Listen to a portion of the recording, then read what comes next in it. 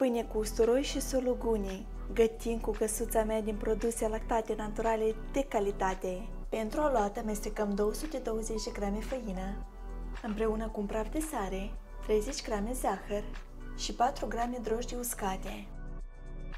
Adăugăm un ou, împreună cu 100 ml lapte, amestecăm și frământăm aproximativ 20 de minute.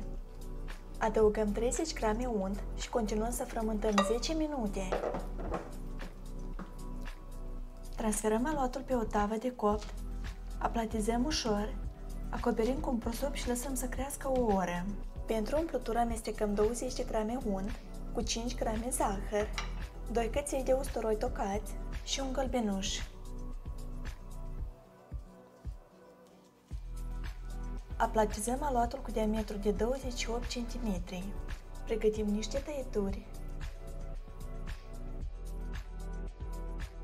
Întindem amestecul de unt cu usturoi la suprafață.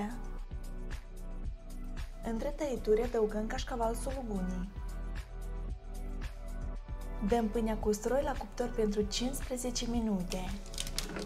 Servim pâinea caldă cu verdeață, iar noi vă mulțumim pentru vizionare. Poftă bună!